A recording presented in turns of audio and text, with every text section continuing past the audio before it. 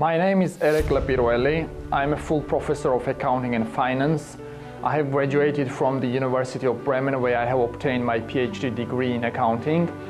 Uh, then I have conducted my postdoctoral studies at the Massachusetts Institute of Technology, uh, the Sloan School of Management.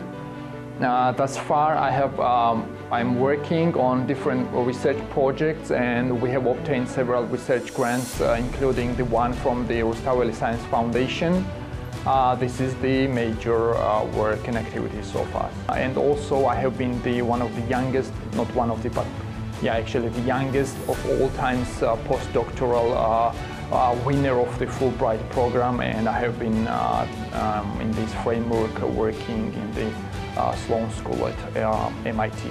At the moment, I'm a full professor of accounting and finance at the Caucasus School of Business, Caucasus University. Uh, one of the major projects uh, we are at the moment working on is uh, to study the implementation and adoption of the uh, financial reporting standards in Georgia. Uh, this is one of the projects by which we have obtained the research grants from Rustaveli Science Foundation.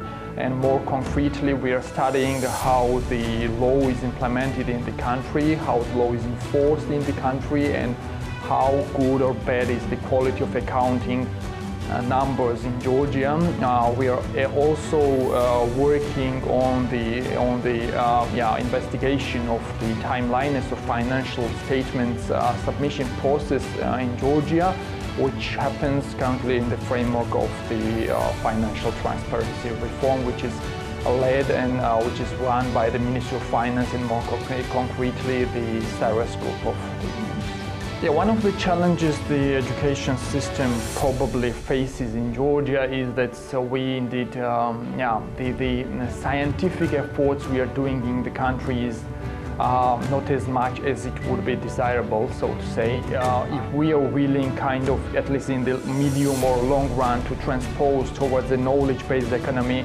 then um, the need is indeed more investments, more efforts towards the science directions, towards the innovation and the education system in general, and this might be the first or first step towards more success.